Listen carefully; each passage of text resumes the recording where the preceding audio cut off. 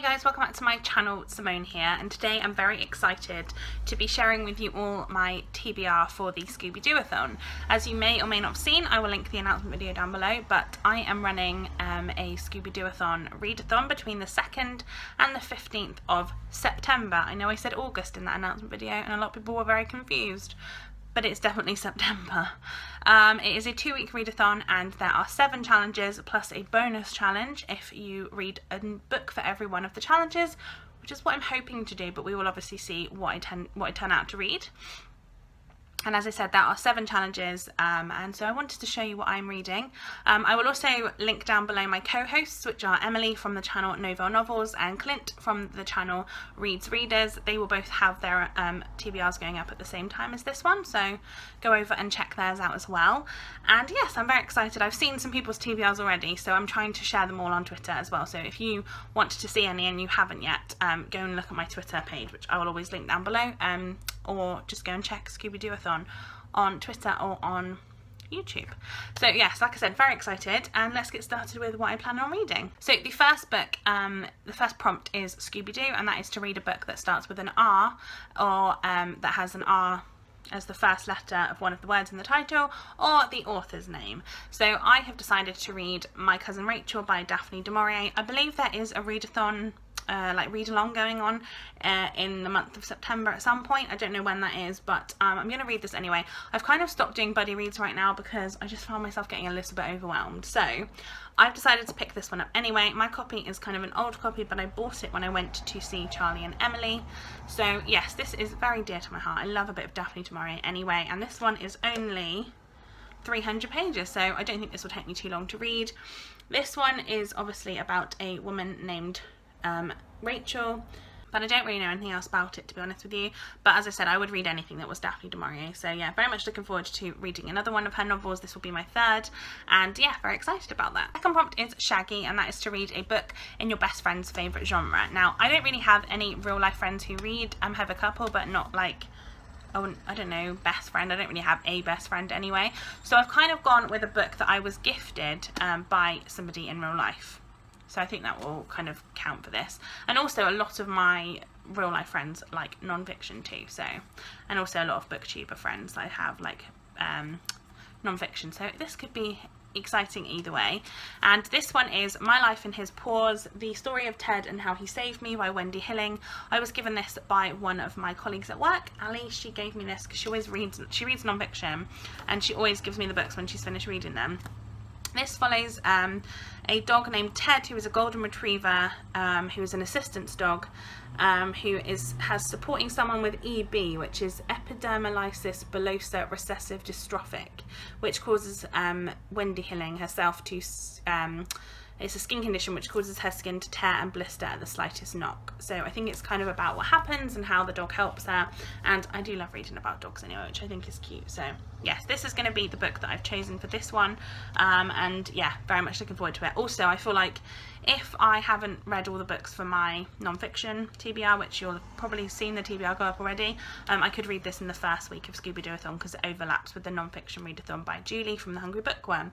So yeah, either way, I think this one will work really nicely. The next prompt is Velma, and that is to read a book with a genius protagonist. So I have picked The Shadowhunters Codex by Cassandra Clare and Joshua Lewis. This is like a textbook style book um, from the Mortal Instruments world. Now, I think that a lot of the Mortal Instruments um, characters are geniuses, specifically Magnus, for example, um, or a lot of them are really well like trained and highly trained in what they do. And so this is like a textbook as well, which I think kind of lends itself to the kind of genius thing. Um, yeah, this is the next one I need to read in the universe um, of the Shadowhunters. And yes, um, I think this is, like I say, this is like textbook style, so there's lots of different bits and pieces in here. But again, it's not massive, so I think it will be quite a good one to read for the readathon. The next one is a is Daphne, and that is to read a cover by. Again, I don't really read books based on the cover very often. I tend to buy them because I've heard other people talking about them. But my mum actually bought me this book, and she bought me this because she's seen it on my blog or a YouTube video. I can't remember which one I knitting did. I think it was a YouTube video.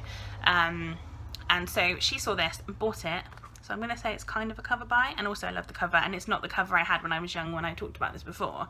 So this is Please Mrs Butler by Allan Ahlberg. You might remember I talked about this in a video relatively recently about like my favourite poem and um, this is literally a really short book but it's like poems and I did remember doing recitals of the poem in this Please Mrs Butler um, when I was at school so yeah this is like a book after my own heart and my mum bought this and I love the cover and it just brings back lots of memories so this is the one I have chosen for that. Next up is Fred and that is to read a book with blue and white on the cover and so for this one I have picked up Behind Closed Doors by B.A. Paris. This obviously has white and there is a blue doorknob and there is kind of blue undertones throughout.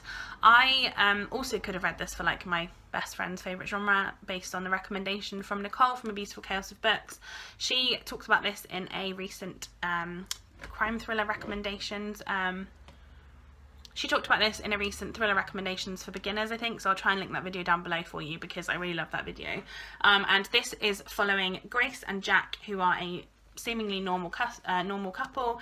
Jack is a lawyer and supposedly a loving husband, and Grace well, there's something about Grace that, although in person she seems very kind of elegant and charming, she, there's something not quite right. And she doesn't answer the phone, and there are bars on the bedroom window, and lots of other things.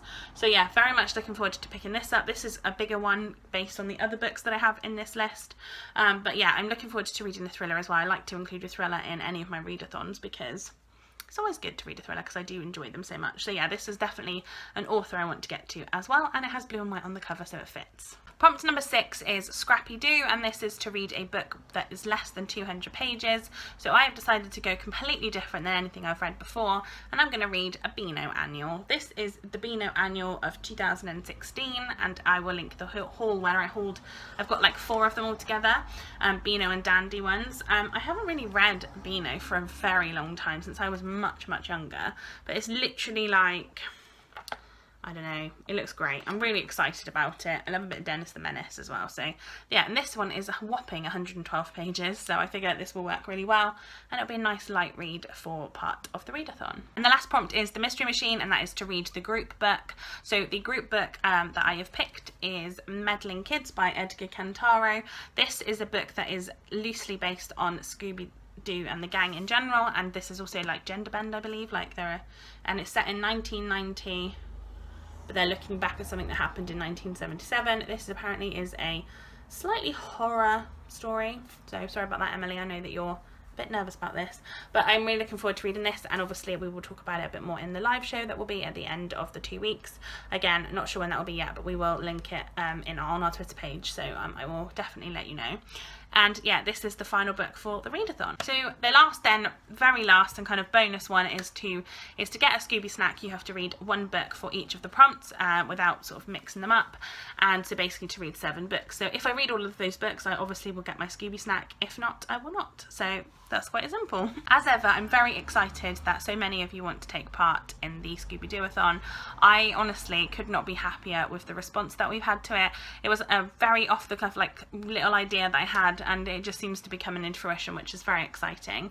Let me know in the comments down below if you're planning on taking part and if you have TBRs up, do let me know because I would love to go and watch them and share them out as well because I want everybody to watch everyone's videos. Um, and yeah, I love, love, love this um, community in general so thank you so much for all your support because it's been wonderful. Let me know also if you've read any of these books and what you thought of them because I'm always very interested in hearing your opinion. And today's video shout out is going to be for the wonderful Lori and Thomas. Lori and Thomas are a husband and wife who make YouTube videos and I love both of them. I think they're great. Lori always comments on my videos and she's so wonderful and so supportive and I absolutely love her so much. Um, and definitely go and check her out. Lori is also pregnant right now, which is really exciting. And yes, I could not be happier for the pair of them and I'm so excited that they to be able to talk to them all the time as well. So like I said guys, if you enjoyed this video, give it a thumbs up and subscribe to my channel if you haven't already and I will see you next time for another one. Bye guys!